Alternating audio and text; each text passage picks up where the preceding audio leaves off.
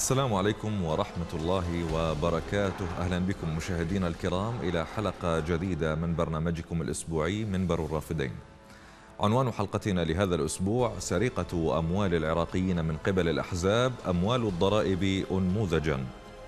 مشاهدينا الكرام بإمكان حضراتكم أن تتواصلوا معنا من خلال الأرقام التي تظهر أسفل الشاشة أمامكم وأيضا من خلال خدمة الواتساب التي تقدمها قناة الرافدين والتي تمكنكم من إرسال رسائلكم النصية التي سنقرأها تباعا إن شاء الله في هذه الحلقة.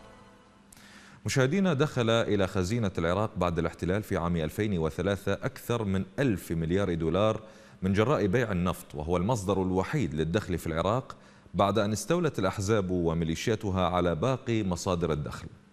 ورغم ذلك تمكنت الأحزاب الحاكمة من سرقة ونهب كل ما دخل إلى خزينة العراق طيلة السنوات الماضية إذ لم تنفذ المشاريع التي وعدت بها العراقيين ولم تحقق النهضة الاقتصادية ولا العمرانية لم تطور القطاع الصناعي العراقي أو الزراعي لم تهتم بالقطاع الصحي أو الكهرباء ولم تكترث لقطاع التعليم أو المراكز البحثية. لم تنظر إلى البنية التحتية واستولت على المنافذ الحدودية وجعلت الشعب العراقي واحدا من أفقر شعوب العالم وأكثرها جوعا وعطشا.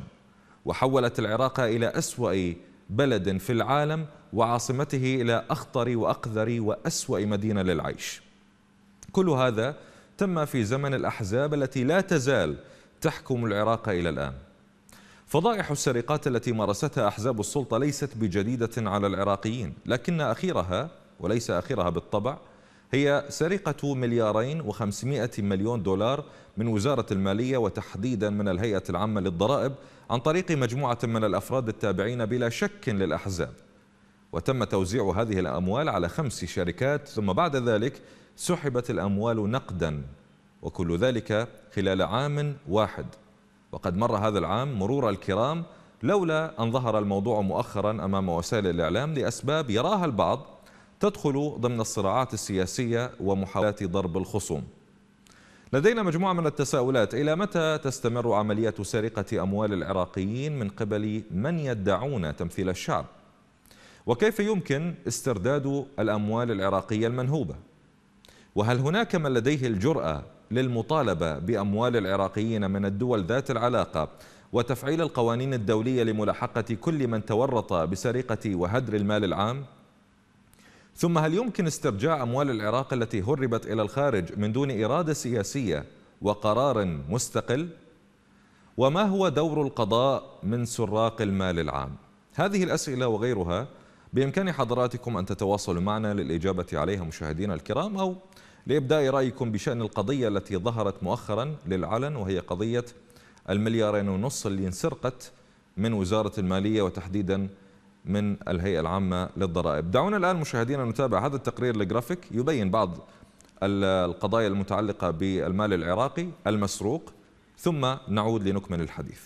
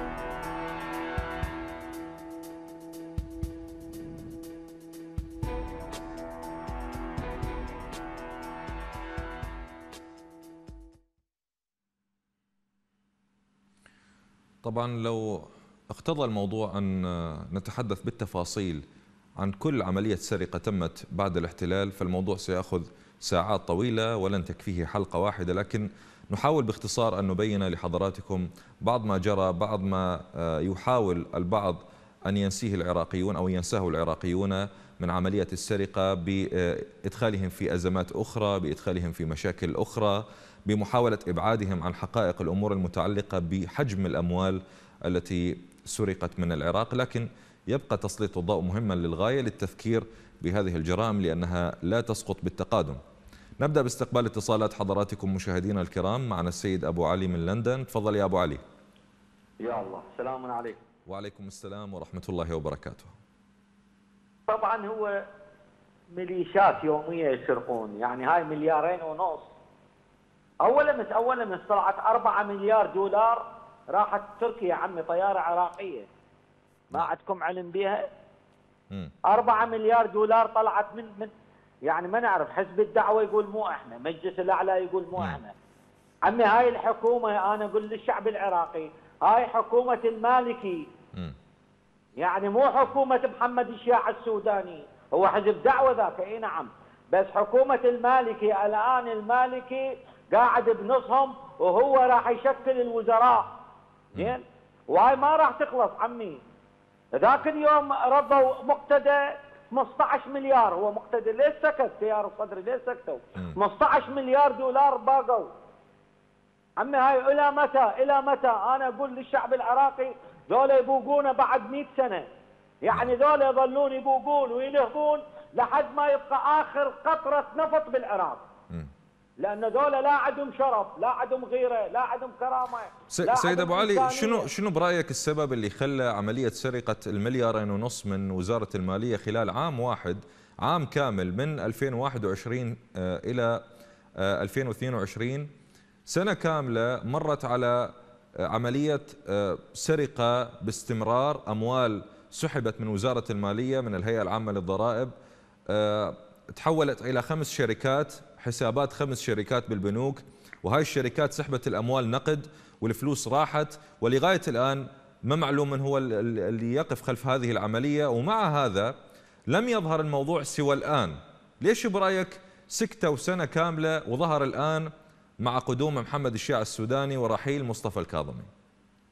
أخي أخي السبب يعني ظهر الآن على مود يسكتون 15 مليار دولار أخذ أخذ تيار الصدر يا عمي.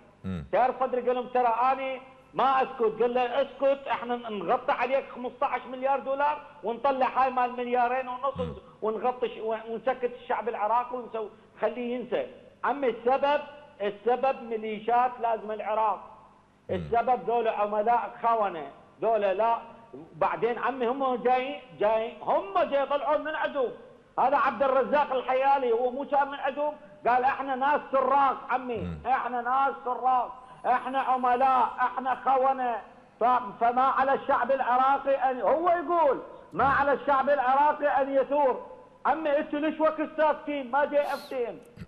نعم. ذولا يظلون يبوقون وينهبون. لأن هم بيناتهم حامية حرامية. لا أكو قضاء. زين لا أكو نزاهه هو نزاهه هو النزاهه تبوق عمي المن نشتكي ما جاي افتين كلها تبوق كلها تنهب لا رئيس وزراء لا رئيس جمهورية. فضل رئيس جمهورية يشكل على طريق مرة مرة مرة مرة يشكل. كودا عديلة عديلة الطلباني ويشكل على طريق مرة. رئيس جمهورية عمي. طيب. بلد ضايع بلد فوضى. نعم أنا أشكرك سيد أبو علي من لندن. شكرا جزيلا لحضرتك للمشاركة. وصلت الفكرة ويانا السيد محمد من بغداد. تفضل يا محمد. السلام عليكم. وعليكم السلام ورحمة الله وبركاته. أستاذ محمد هي التمثيلية هاي مستمرة بالعراق. نعم. يعني يخلون رئيس جمهورية ويخلون رئيس وزراء. نعم. الفلوس النفط اللي يباع المفروض هاي فلوس النفط الميزانية العراق. المفروض تبني العراق وتعمر العراق وخليه مثل هاي المدن المتحضرة المدن العالم يعني. نعم. هم يقسموها بيناتهم الأحزاب. الأحزاب بيناتهم يقسموها. هذا يقول لك خذ لك 20 مليار وهذا يقول لك خذ لك 50 مليار. وعايزين البلد منتهي يعني هاي هذا محمد الشياع السوداني من هو اجى سلسلة من رئاسة الوزراء وبعدها من مشكل الكابينة مالته. يعني هو هذا إيش راح يسوي هذا؟ هو مو كان من مسؤول على أمر الرعايه الاجتماعيه اللي طلع حجه أو طلع قانون خاص. يقول اللي عنده بنكه ما يستلم راتب تقاعدي. هو هذا الحكي مال واحد صاحي هذا حكي مال واحد يحكي صح صح في العالم يعني ذولا ما ما يفيدون ما ما يغيرون شيء بالبلد. يزيد يعني هذا النهر الجب باقليم كردستان. الجب سوران أعتقد اسمه نهر سوران جب. والنهر دجلة والفرات اللي اللي المي ماله كله خافت وصاير راكد المي ماله. سيد محمد تتوقع يعني تتوقع ممكن ان ممكن أكو جهة بالعراق حاليا داخل العملية السياسية تقدر ترجع الأموال المسروقة من العراق؟ لا ما حتى لو تريد ترجع الأموال المسروقة ترجعها توزعها بيناتهم يعني أكو واحد فيهم شريف يوزع شيء يقول أنا هاي فلوس يطلع بالتلفزيون يقول حتى تكبر أسوي مشاريع بالعراق ما يسوون لأن هاي الفاسدين اللي طلعوا اللي كان وزير الكهرباء هذول طلعوا شنو شنو اللي سووا وياهم؟ نعم. اللي مسؤولين على الضرائب اللي مسؤولين على البنوك اللي كلهم طلعوا شنو اللي حيسوون؟ فهذول هم احزاب تحكم تنفيذيه يوميا يطلع لنا كل سنة سنتين يجينا واحد يخلص الدورة مالته ياخذ ياخذ المكافأة مالته ويطلع نعم. وإحنا ما نعرف هذا وين راح وين اجى نعم. إلا تغيير دولة إلا نعم. تغيير الحل هو تغيير. شكرا جزيلا سيد محمد من بغداد أن يشكرك. ويانا أبو علي من واسط. تفضل يا أبو علي. السلام عليكم أستاذ وعليكم السلام. حضرتك مساء الخير لجميع الراحلين خليني أبدأ من سؤال الأخ اللي طرحته أنه الأموال هذه تسترجع أو ما تسترجع؟ نعم. هي الاستاذ لو استرجعت مثلا على سبيل المثال. استرجعت وين تروح؟ تروح المفروض انها تروح آه كإيرادات نهائية للدولة. فهذول المليارين ونص. المفروض يرجع عن سنة 2023 إيرادات نهائية للدولة. نعم. هي هذول كلهم ضرائب هي مو ضرائب إنها تأمينات. تأمينات للمقاولين تأمينات للمستثمرين لواحد مثلا إلى 3 ملايين 5 ملايين. وتتراكم فيقول لك أنا هذا المستثمر أنا أروح من اطالب بيهم راح أدفع نصفي فعلى من أنا ماخذ لي مقاول 100 مليون 150 أو مليار. ف 5 ملايين 10 ملايين ما يهمني. نعم. تم شلون اكو موظفين داخل الامانات ماسكين سجلات الامانات يعرفون ان هذا راح تروح ايراد نهائي للدولة. فحصروهم وجمعوهم قالوا مجموعه احزاب اسسوا لكم شركات واخذوهم عن طريق صكوك. أنا من يقعد نائب النائب الأول لرئيس البرلمان ويحاسب لي آه، طيب سامي، طيب سامي شنو شنو علاقتها؟ طيب سامي هي مجرد إنه يعني مديرة تمويل. طيب سامي صحيح هي مع الأحزاب وهي اللي الأحزاب اللي انبقيتها لكن طيب سامي مستحيل إنه تعطي على على على نفسها شيء. سيد سيد, سيد أبو علي ال ال السؤال نعم. المتعلق بقضية الأموال العراقية المهربة هل يمكن أن تستعاد في ظل غياب الإرادة السياسية والقرار المستقل اليوم إذا إذا ماكو إرادة سياسية وطنية تريد أنه تستفاد من هذه الأموال المنهوبة عن طريق استرجاعها وضخها بالسوق العراقية مشاريع تنمية غيرها شلون ممكن هذه هذه الأموال تعاد في ظل غياب الإرادة والقرار السياسي؟ ما هي أستاذ الكريم إحنا على مرحلتين، مرحلة استعادة الأموال ومرحلة صرف الأموال. م. إذا كانت الإرادة السياسية مثل ما حضرتك تفضلت إنه في تعيد الأموال، طيب أنا الأموال من يضمن أن تروح للدولة؟ من ما يضمن أن أكو شركات موجودة موجودة موجودة هاي الإرادة السياسية اليوم عندنا بالعراق؟ موجودة إذا كانت المصالح للأشخاص وللأحزاب موجودة موجودة هذه المصالح، يعني مثلا إذا عندهم مثلا ضدية مع قطر أو ضدية مع الإمارات أو ضدية مع تركيا ويكرهونها يطالبون بها هذه الدول، بس من ترجع وين يأخذونها؟ يضيفونها المشاريع؟ يستثمرون بها؟ طبعا لا، لأن هو أساسا هدفهم مو استرجاع الأموال، إنما نعم. هدفهم نهب الأموال من الخارج. نعم. الأموال اللي بالداخل مدى يكفيهم يفهمون الأموال بالخارج. نعم. إحنا سيدي الكريم اليوم مو بس فساد، عندنا سرقة مبرمجة، سرقة قانونية موجودة م. في البلد، الآن تجي على هذه السرقة مليارين ونص تلقاها بالقانون صحيحة أكو ناس مقدمة طلب ومسحوبة مدير البنك الرافدين مسؤول موظف البريء الأمانات وكذلك تأسيس الشركات مثل ما ذكر حضرتك طبعا طبعا تصحيح تصحيح فقط سيد آه، أبو علي السرقة اللي تمت للمليارين ونص ليس لها علاقة بالقانون. هذه سرقة في وضح النهار ب آه، نعم هناك هناك أوراق رسمية صدرت من الدولة من وزارة المالية لكن نعم. الموضوع تم في عهد وكان موجود في عهد علي علاوي واستمر. شلون عبرت؟ شلون وافق الوزير؟ شلون وقع الوزير على هذه الأوراق شلون قبل بأنه الفلوس تخرج من الهيئة العامة للضرائب تروح إلى شركات يعني ما معروفة نعم. مئات الملايين من الدولارات سحبت من من البنوك نقدا. يعني هذا الموضوع ما له علاقة بالقانون لكن يعني تشرعن تشرعنت السرقة بالضبط بالضبط. هي السرقة مشرعنة لأن مدير البنك مدير الرافدين المفروض يحاسب ليش؟ يحاسب انت سحبه من عندك 5 مليارات. ليش بنفس اليوم انسحبت تحولت إلى حساب وبعدين انسحبت بنفس اليوم؟ هذه شبهه كذلك من تجي صرف 5 مليارات 5 مليارات مش شوية من بنك رافدين تسحب. طيب. لازم يدقق بأولياته. هو هذا يعني هم شركاء بالسرقه ولكن نعم. للأسف نعم. أوراق رسمية للسرقه شكرا جزيلا أبو علي من واسطة أنا أشكر حضرتك. 3.7 تريليون دينار عراقي هي قيمة المسروقات الأخيرة اللي صارت من وزارة المالية. لغاية هذه اللحظة رغم الضجة اللي صارت وهذا اللي أدخل الحكومة بإحراج ودفع الجهات القضائية وبعض الجهات البرلمانية إلى استقدام ومنع سفر وغيرها من الإجراءات لكن هل سيمنع هذا اللصوص من أنهم أخذوا الأموال بالفعل؟ ماذا عن الأموال التي سرقت سابقا على يد مسؤولين ومن خلال مدراء أقسام ومدراء عامين وغيرها من هذه النماذج اللي كانت مساهمة بسرقة المال العام طبعا بدعم أحزاب وحماية أحزاب وين هذه الأموال؟ أيضا كانت هناك قرارات بمنع سفر قرارات باستقدام بإلقاء قبض بغيرها لكن كلها لم تنفذ والنتيجة أن أموال العراق في الخارج عبارة عن مشاريع واستثمارات وأموال مجمدة أو موجودة عفوا أرصدة في بنوك آه، دول ودخلت في اقتصادات دول كثيرة وأصبح الآن من الصعب جدا أن تستعاد هذه الأموال كيف يمكن أن تعاد هذه الأموال في ظل وجود هذه الطبقة السياسية وهذا القضاء المصنف دوليا بأنه فاسد. هشام من بابل تفضل حياك الله هشام. أخوي في ظل هذه الزعماء الفاسدين يعني هذول يستمرون لسرقة أموال أموال العراق. ديالو نعم. لا. ومحميين من قبل الأحزاب والميليشيات آه، الولائية إلى إيران هي تحمي هذه هذه الزعماء المنافقين.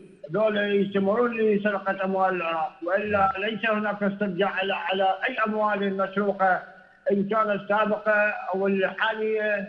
فإنهم كل هذه الجماعات وكل هذه الزعامات هي فاسدة وهي قمعية وتبقى تسرق المليارات والمليارات من أموال العراق نعم. تماما. وكذلك محميه من قبل الأحزاب الغاشمة هذه والميليشيات الإرهابية آه، إي والله أخوي. نعم. يعني ومسدوله من قبل آه، مراجع الدين مراجع الدين هم هم شريكة في سرقه أموال العراق. إي والله أخوي. هذول ماكو بهم رجل هذا مرجع ديني شريف صدقني كلهم كلهم شاركوا بسرقه مليارات العراق. وكذلك هم محميين من قبل الميليشيات والأحزاب الغاشمة. بالنسبة لهذه المراجع الدين الغاشمة هذه. إي والله طيب. شكرا جزيلا سيد هشام. نعم وصلت الفكرة. نشكرك كنت معنا من بابل مشاهدينا الكرام آه، لدينا تقرير يتحدث عن آه، السرقات التي تمت بعد الاحتلال من قبل أحزاب السلطة الحاكمة وأيضا يسلط الضوء على آه، القضية الأخيرة التي حدثت وهي سرقة مليارين ونصف مليار دولار من وزارة المالية من الهيئة العامة للضرائب عن طريق أفراد وعن طريق شركات ساهموا بسرقة هذا المبلغ بعلم الحكومة وبموافقتها. وهذا الموضوع كان في عهد وزير المالية علي علاوي بالتوقيعات التي تمت آه، بخط يده مرورا طبعا بإحسان عبد الجبار. وخلال عام واحد سرق من العراق بشكل مثل ما يقول أبو علي من واسط شكل قانوني. هو ما له علاقة بالقانوني لكن شرعنت هذه قننت هذه السرقة وأصبحت آه، يعني بالأوراق الرسمية لكنها في النهاية سرقة للمال العام لأموال الضرائب التأمينات من وزارة المالية وهي أموال العراقيين في النهاية. خلونا نشوف التقرير ونرجع. منذ عقدين من الزمن والعراق يغرق في بحر من الفساد استنزف معظم إيراداته وجعل العراقيين بين أنياب الفقر رغم امتلاك بلادهم ثروات هائلة. ولا تعد حادثة سرقة المليارين ونصف المليار دولار أمريكي من العائدات الضريبية التي جرى الكشف عنها أخيرا هي الأولى. بل إن مئات مليارات الدولارات سرقت وضاعت عبر الفساد الذي انتهجته الحكومات المتعاقبة التي كانت تكتفي عند كل فضيحة فساد بتشكيل لجان تحقيق وتصدر مذكرات إلا أن ذلك لم يعد للبلاد ولو دينارا واحدا مسروقا بطرق مختلفة. المعلومات التي نشرتها هيئة النزاهة وتسربت من وثائق نيابية تفيد بأن حجم الأموال التي خسرها العراق جراء الفساد يزيد عن 450 مليار دولار منذ الاحتلال الأمريكي. هذا ما سرب من مصادر رسمية ومطلعة ليبقى الرقم الحقيقي المخيف هو ما بقي خلف الكواليس. وللفساد طرق وأدوات أبدعت بها الأحزاب وزعماؤها. حيث يتم عن طريق صفقات استيراد وتصدير وعن طريق توفير الأغطية المالية للمشاريع الوهمية واستخدام الفواتير والصكوك المزورة إضافة إلى السرقة الواضحة التي تجري عبر نقل المبالغ المالية الضخمة من الدوائر والبنوك الرسمية إلى حسابات خارج العراق أو تحويلها إلى كتل نقدية كبيرة ويجري نقلها إلى إيران. وبهذه الطريقة كانت نصف مبالغ الميزانيات المالية السنوية تذهب إلى جيوب المتنفذين الذين ينتمون إلى الأحزاب الحاكمة إضافة إلى زعماء الميليشيات التي تنشط على المستويين الأمني والسياسي. عقدان من الزمن قضتها الحكومات المتعاقبة بسرقة ثروات البلاد حتى أصبح العراق في مقدمة بلدان العالم فسادا بحسب مؤشر منظمة الشفافية العالمية.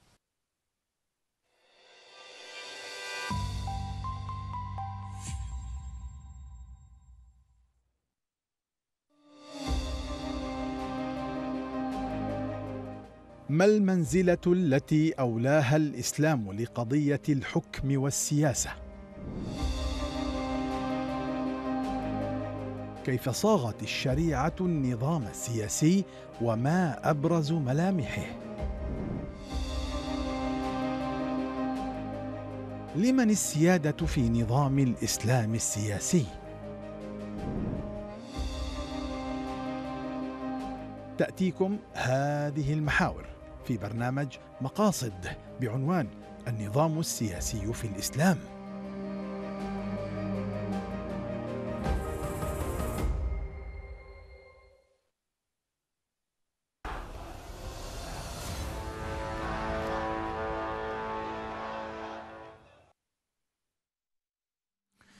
حياكم الله مشاهدينا الكرام مرة ثانية. نتحدث اليوم في حلقتنا لهذا الأسبوع من منبر الرافدين عن أموال العراق المسروقة من قبل الأحزاب. من الذي آه، آه، يجب أن يحاسب وكيف يمكن أن يحاسب المسؤول عن هذه السرقات؟ وكيف يمكن أن تسترد الأموال التي سرقت وهربت إلى خارج العراق؟ خلال هذه الحلقة كل شوية راح آه، نذكر بحدث أو عملية سرقة تمت خلال السنوات التي تلت الاحتلال عن طريق حكومة الاحتلال. نبدأ بأول حدث نذكر به هو في عام 2007 عندما أبرمت وزارة الداخلية عن طريق ضباط موجودين بها وطبعا بموافقة الحكومة حكومة نور المالكي آنذاك اللي هو توصيفه القائد العام للقوات المسلحة. أبرمت عقد مع شركة بريطانية تم على أثرها شراء 6000 جهاز كشف متفجرات. هذا الجهاز تتذكروه اللي آه، طلعت بعدين الفضائح عنه وقالوا بأنه هذا يكشف البهارات ما يكشف المتفجرات. كلف خزينة الدولة العراقية 400 مليون دولار في وقتها ولغاية الآن لم يحاسب المسؤولون على هذا الموضوع. وكان هذا الجهاز سببا في حدوث الكثير من التفجيرات وإزهاق الكثير من أرواح العراقيين الأبرياء اللي النور المالكي اللي يتحمل المسؤولية الأولى وقتها لا يزال ضمن الحزب وضمن العملية السياسية وضمن الانتخابات ومستقتل حتى يتمكن من السلطة مرة ثانية و لا يوجد من يحاسب. ويانا صباح من بغداد تفضل. السلام عليكم أستاذ محمد. وعليكم السلام ورحمة الله وبركاته. ملفات الفساد من يوم استلموا الحكم من 2003 ولحد الان العراق يسرق كل الميزانيات اللي تقر إحنا ما نعرفها وين راحت. على واقع الأرض وواقع الحال ما تشوف الدولة بنت بنية تحتية حقيقية يعتاش منها المواطن العراقي البسيط. لا مجمعات سكنية لا حياة كريمة لا خدمات لا مستشفيات. اذا الأموال وين راحت؟ من اللي الحكومة الأولى ولحد الآن. نوري المالكي استلم دورتين متعاقبة. يعني ثمان سنوات ما يقدر 600 مليار دولار بفترة حكمه. وين هاي الأموال؟ على واقع الحال المشاريع اللي يقولون سويناها ودعم الزراعة اللي استلمها صالح المطلق وأتباعه. كلها صفر. نعم. يعني ملفات فساد متراكمة. المسؤول الأول والأخير عنها. مو رئيس الوزراء الفاسد المسؤول عنها القضاء. لكن نشوف صمت القضاء إذا القضاء مشترك وماخذ جزء من هذا الفساد في سبيل ما يقدر يحاسبهم. جزء من الأموال المنهوبة له والشيء الثاني إن القضاء العراقي مسيس. يعني ما يقدر يحاكم ناس وناس. وشفنا إحنا هسه الصراع على المناصب وعلى رئاسة الوزراء وشفنا بين التيار وبين. الإطاريين هسه قام يطلعون ملفات فساد ناس تضرب ناس بيها وإحنا على يقين وكل العرب والعراقيين يعرفون إن نعم. كل الحكومات ذولي فاسدين سواء. مصطفى الكاظمي وزمرته يعني اللي بعد هذا الطاري تتوقع سيد صباح إنه القضية اللي ظهرت الآن في هذا التوقيت الهدف منها كما يرى البعض بأنها ضربة للكاظمي إنه يحاولون يذبوها براسه وهو يتحمل المسؤولية.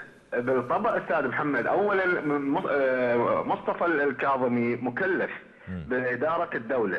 أول ما استلم المنصب بال 2020 عين آه، مدير هيئة الضرائب اللي هو جابه للدائرة هاي وصار الفساد. هسه الناس من تضرب مصطفى الكاظمي انتقاما منه. نعم. في سبيل يقول لك شوف حكومة مصطفى الكاظمي ويدخلونه ملفات فساد وهم أفسد من مصطفى الكاظمي.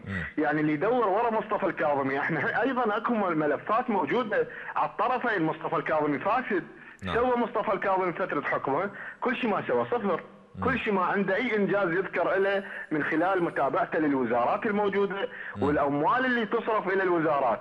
زين إحنا عندنا ميزانية مال 2004 14 عفوا نعم. من كان الإرهاب موجود وغيره والتحرير مثل ما يسمونه وين راحت الميزانية؟ نعم. هاي الميزانية مال هاي السنة اللي لحد الآن ما أقروها وخلصت نعم. السنة وين راح تروح؟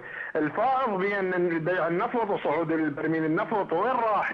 وعندنا عند كل وزارة بيها ما يقارب خمسين ألف ملف فساد بس نعم. من يحاسبهم القضاء يختار اللي يريد يحاسبه نعم. لأن أكو ناس الفاسدين لهم لهم ضلع وحماية من الميليشيات الحشد ومن الأحزاب ومن القضاء ومن المرجعية. يعني يعني مثل مقتدى الصدر من يدعي بالإصلاح وهو عنده ست محافظين في جنوب العراق. أبو بابل والنجف والكربلاء والبصرة كلهم تابعين إلى التيار الصدري. هذول من يحاسبهم؟ ليش محافظين؟ هاي المحافظات مسوين محافظاتهم. دبي مثلا أيضا أكو ملفات فساد بكل المجالات. طيب. الخدمية وغيرها. سيد صباح أنا أشكر حضرتك. شكرا جزيلا. كنت معنا من بغداد.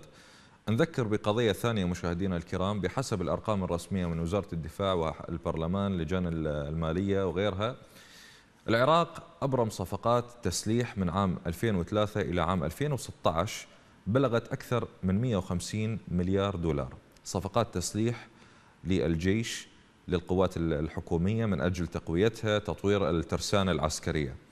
هذه الصفقات أغلبها صفقات فاسدة الأسلحة التي تم شرائها إن وصلت إلى العراق هي أسلحة آه، آه، قديمة آه، عتاد قديم. وطبعا بحسب المصادر اللي هي شبه رسمية أكدت أن ما أبرمه العراق من صفقات مع الدول اللي دفع لها الفلوس استلم ربع فقط ربع المواد العسكرية المعدات وغيرها من أسلحة وغيرها اللي المفروض يستلمها.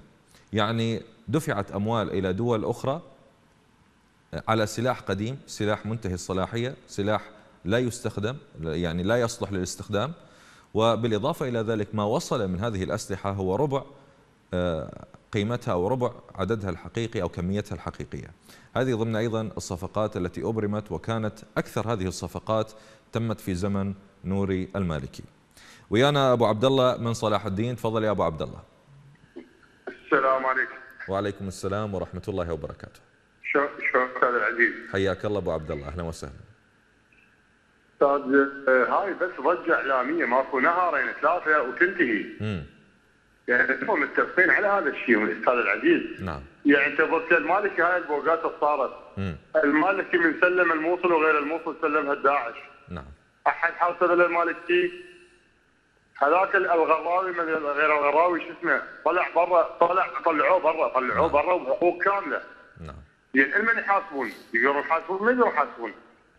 يعني هم مش شاركين هم كلهم شركه سوا شنو مصير الأموال العراقية يا أبو عبد الله اللي سرقت وتهربت؟ وإحنا عندنا هاي الأحزاب تحكم الآن؟ هاي تهربت بعد ما ترجع الساد هاي ما يقول لك ترجع هاي تهربت بس ما وهميه طلعت برا. نعم. راحت لصالح المال ربعها. وراح يجينا السوداني هسه السوداني إيش راح يسوي؟ السوداني إنه يشق النوبه العراقي يشق إيش؟ أنت قبل يومين يطلع رئيس الجمهورية هذا الجديد يمشي على السجادة الحمراء ماكو يطلع قبل رول سايد جيت أنت نعم. من هسه متفتح يعني مشي على السجاده ما تعرف تمشي؟ الساعة تجي تجي تفوق وبس فاضي. سأل سأل سأل مقدم سأل المراسل أو يعني واحد يجري وياه لقاء قال له شنو أول خطوات حتسويها؟ قال له أريد أسلم على أهلي وقرايبي. يعني والله هذا كلام هذا كلام رئيس جمهورية يتطلع إلى النهضة بالعراق. أنت وين كنت؟ أنت وين كنت؟ برا العراق عن أهلك وقرايبك وهذا الجمهوريه عمي. نعم. عمي هذول الناس عرب طالما طالما كان هؤلاء هم الذين يحكمون العراق. هل برأيك موجود عندنا اليوم في ظل حكم هؤلاء قرار سياسي وإرادة حتى يسترجعون الأموال وإن عادت هذه الأموال؟ هل ستنفق في مكانها الصحيح أم حترجع لجيوب فاسدين آخرين. ترجع لجيوب فاسدين. ترجع لجيوب فاسدين. يقاسموها بيناتهم نعم. كل من يقول لك راح ترجع للعراق وترجع مثل هذيك الصفقة مثل جابوا بها نابوك ومثل جابوا بها للعراق نابوك. نعم. أنت سمعان دولة ما أدري كم مليار ما أدري تستورد نابوك. حتى لو يقولوا استوردنا شكر استوردنا ثمن تنعقل طحين تنعقل. نابوك. طيب. يعني يعني من هم؟ سيد أبو عبد الله أنا أشكر حضرتك. الشعب. نعم. شكرا جزيلا لحضرتك كنت معنا من صلاح الدين. أه عندنا ضمن القضايا أيضا مشاهدينا الكرام اللي قلنا خلال هذه الحلقة وبين كل متصل حنذكر حضراتكم ببعض الأرقام اللي أه، قد تكون يعني خافية على البعض لكنها لا تخفى على الجميع بالطبع. بحسب أرقام آه، اللجان البرلمانية وبحسب أرقام وزارة الكهرباء العراق أنفق من 2003 إلى اليوم أكثر من 80 مليار دولار على قطاع الكهرباء. قيل إنها أنفقت على قطاع الكهرباء. لغاية الآن العراق يعاني من غياب الكهرباء وانهيار هذه المنظومة. ومن ضمن الأمثلة اللي يضرب بها المثل طبعا على مدى سوء ورداءة آه، الكهرباء المقدمة إلى المواطن هذه إن وجدت محافظة البصرة على سبيل المثال إلى الآن نسبة الانقطاع بالتيار الكهربائي تصل إلى 18 ساعة في اليوم الواحد.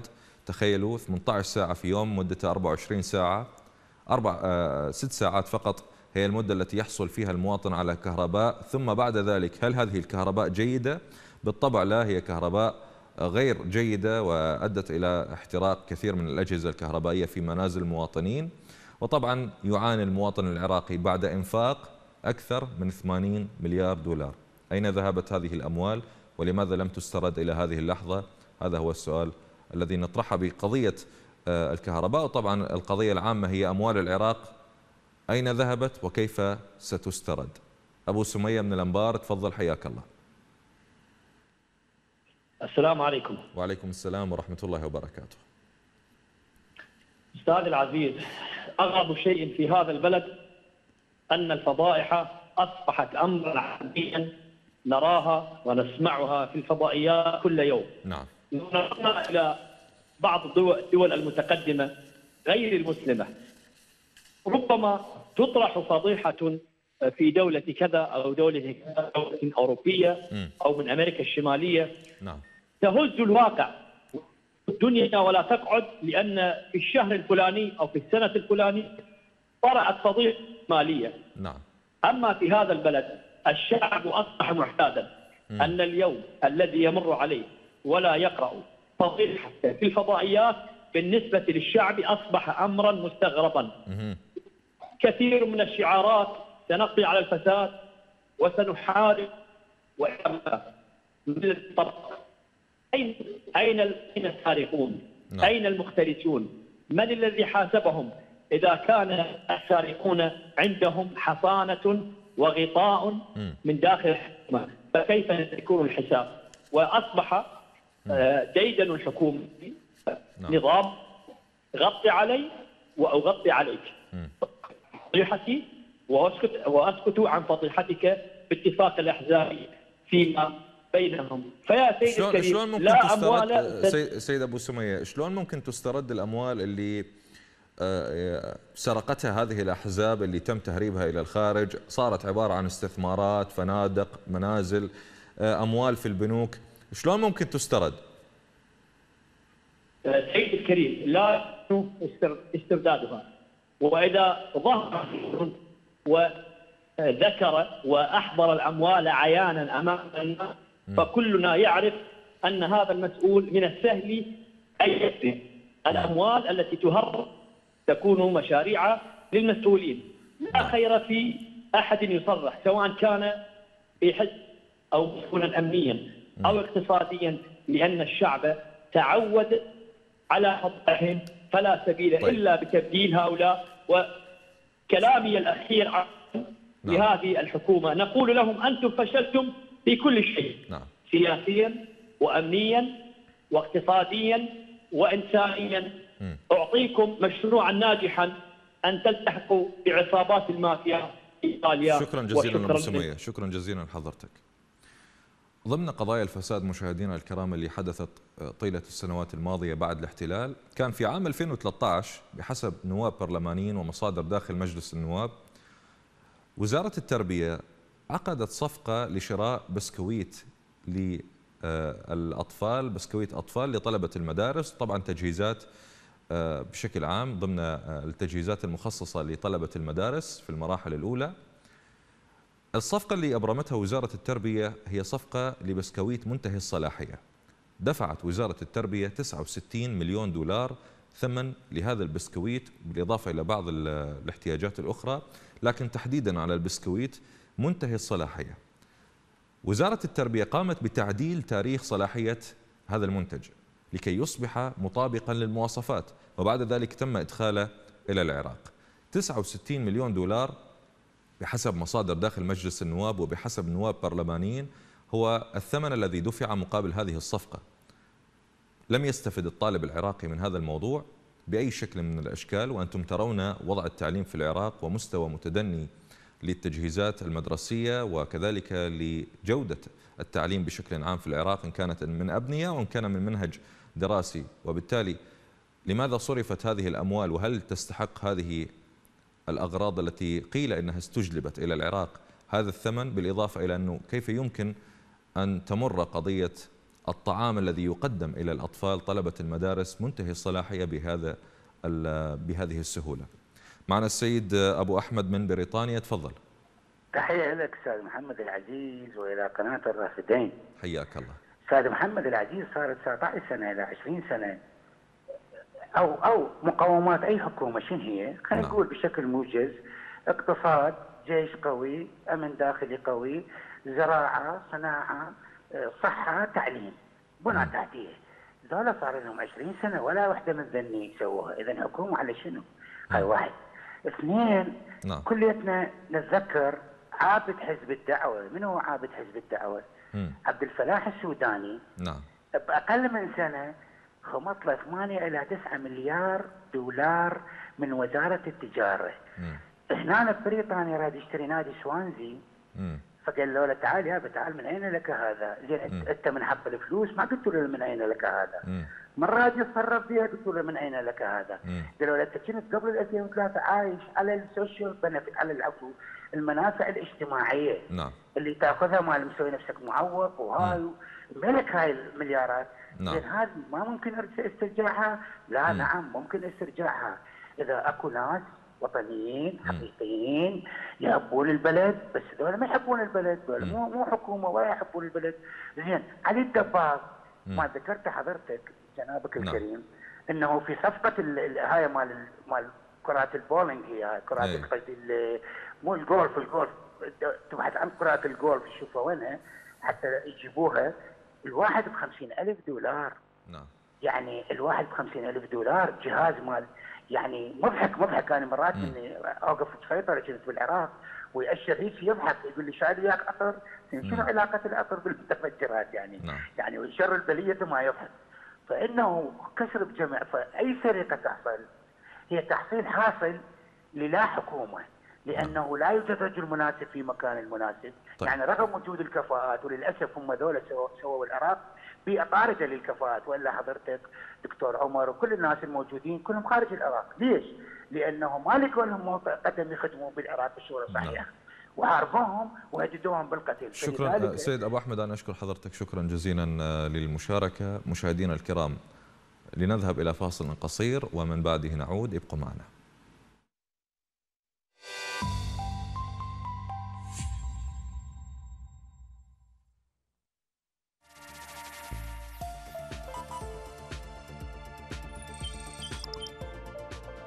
مشاهدينا الكرام في الوطن العربي يمكنكم متابعة بثنا على مدار القمر نايل سات على التردد 10727 الاستقطاب أفقي.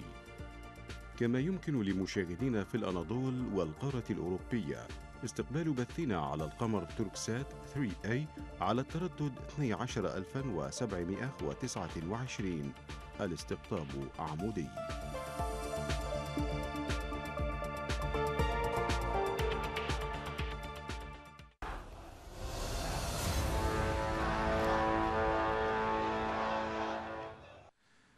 حياكم الله مشاهدينا الكرام مرة ثانية. نكمل حديثنا في حلقتنا لهذا الأسبوع من برنامج منبر الرافدين عن أموال العراق المسروقة عن طريق الأحزاب الحاكمة وكيف يمكن أن تسترد. طبعا ضمن القضايا التي حدثت بعد الاحتلال مشاهدينا الكرام ضمن صفقات الفساد اللي أهدرت المال العام وكانت هناك سرقات آه، مقننة للمال العام. آه، في عام 2008 أبرمت آه، حكومة نوري المالكي مع شركة إيرانية صفقة لبناء 200 مدرسة. على أساس أن تبنى 200 مدرسة في العراق كلفت خزينة الدولة 232 مليون دولار. هذه الصفقة التي أبرمت في زمن نوري المالكي لإنشاء 200 مدرسة مع شركة إيرانية. لغاية هذه اللحظة لم يحقق أي شيء من هذا المشروع.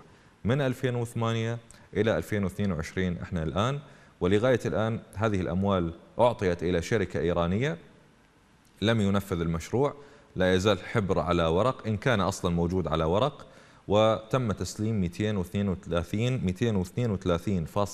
232.7 تحديدا مليون دولار إلى شركة إيرانية في زمن نوري المالكي أين هذه الأموال؟ أين هي المدارس في ظل حديث وزارة التربية عن حاجتها لأكثر من عشرة ألاف أو عشرين ألف في بعض الأرقام عشرين ألف مدرسة في عموم العراق لتخفيف الضغط على المدارس الموجودة حاليا ولاستيعاب هذا هذه الأعداد الكبيرة من الطلبة.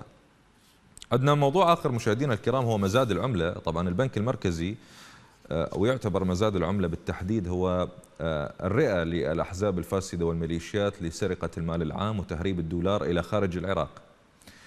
بحسب الوثائق الرسمية التي صدرت من جهات كثيرة داخل البرلمان حتى بعض الوثائق المسربة حصلت عليها مصادر صحفية وغيرها تؤكد بأن في من عام 2003 إلى الآن باع العراق أكثر من 400 مليار دولار آه، من آه، مزاد بيع العملة أغلب هذه الأموال وكما عرضنا في الجرافيك لحديث آه، نواب داخل البرلمان أكدوا أن الأموال التي تباع من البنك المركزي أو من خلال مزاد بيع العملة تذهب إلى خارج العراق ولا تعود. تذهب إلى خارج العراق ولا تعود. 400 مليار دولار هو ما باع العراق من 2003 إلى يومنا هذا في مزاد بيع العملة.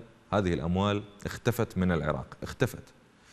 أيضا طبعا ضمن الأموال التي أهدرت وتم استغلال ظروف معينة لسرقة أموال العراقيين أحداث داعش اللي صارت من عام 2014 واللي انتهت في عام 2016 مثل ما أعلن حيدر العبادي خلال هذه السنوات تكلف العراق أكثر من 100 مليار دولار خسائر آه، على التجهيزات العسكرية على الإنفاق على العمليات العسكرية اللي صارت رغم أن الحكومة حكومة المالكي والعبادي هما المسؤولان عن ما جرى في العراق من انهيار تحديدا نور المالكي طبعا اللي تسبب في دخول داعش وسقوط محافظات عراقية ثلث العراق سقط بيد داعش وانهزم الجيش هزيمة آه، غريبة أكثر من 60 آه، ألف مقاتل من مدينة من محافظة نينوى انهزموا أمام بضعة آه، مئات من مقاتلي داعش بمهزلة. يعني مشهد التاريخ آه، عبر هذه السنين اللي مضت.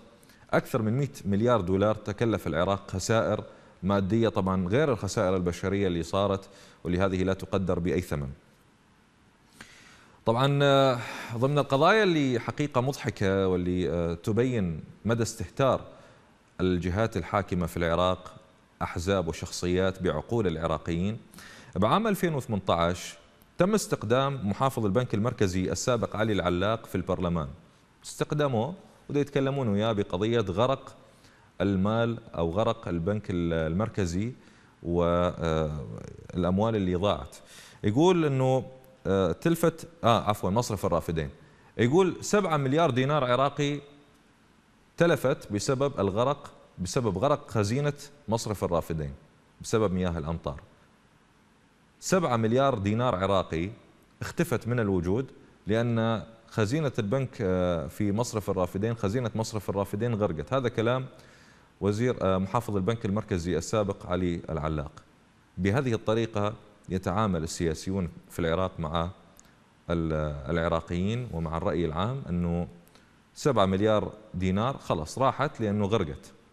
وغيرها من الأموال التي سرقت في العراق عن طريق هذه المشاريع والصفقات الوهمية والفاسدة اللي ذهبت إلى الفاسدين إلى حساباتهم في الخارج إلى مشاريعهم اللي استثمروها في بلدان أخرى وتركوا أبناء هذا الشعب يعاني الجوع والفقر. وصلت وإياكم مشاهدينا الكرام إلى ختام حلقتنا لهذا الأسبوع. أشكركم شكرا جزيلا لطيب المتابعة وإلى اللقاء.